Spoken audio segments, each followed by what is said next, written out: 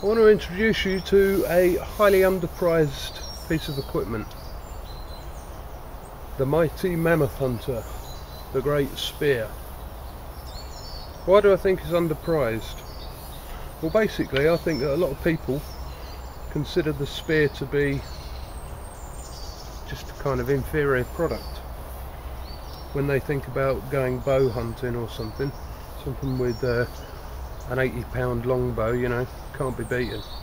Well I'd like to beg to differ um, and here's a few reasons why. A well-made spear should be around about 8 foot long. And the reason for that is because when you launch it it should flex just like an arrow so it should have a spine in it. That compression that it gets as you release the spear is going to project that and uncoil um, kind of accelerating its energy. The other piece of equipment that we bring into it is an arm described as an atlatl so it's a piece of wood with a hook in one end and that hook is going to go into the back end of the spear. Like so. That now means that these two things can be carried in conjunction with each other like that. So effectively I've doubled the length of my arm.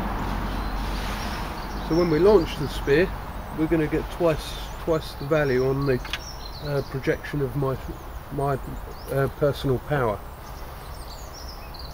now, this is not just a stick with a hook on the end. Basically, this has been formed with the same amount of care as I would form the limb of a bow. And the reason being is because as I swing that, this needs to be able to bend backwards and also spring forwards, working in harmony with the spear itself. So I think the best thing to uh, do with these two things is take them out and give them a field test and see if we know what we're talking about. One of the things that um, I'd like to point out is at the back end of this I haven't got any fletchings on it.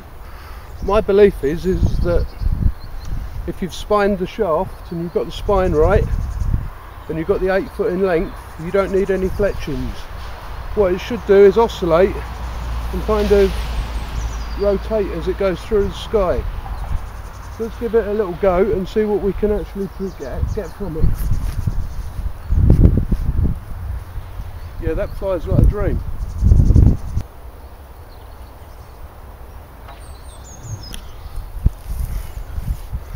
So after having a couple of shots of this, one of the things I think I noticed is the resistance when it was actually launched.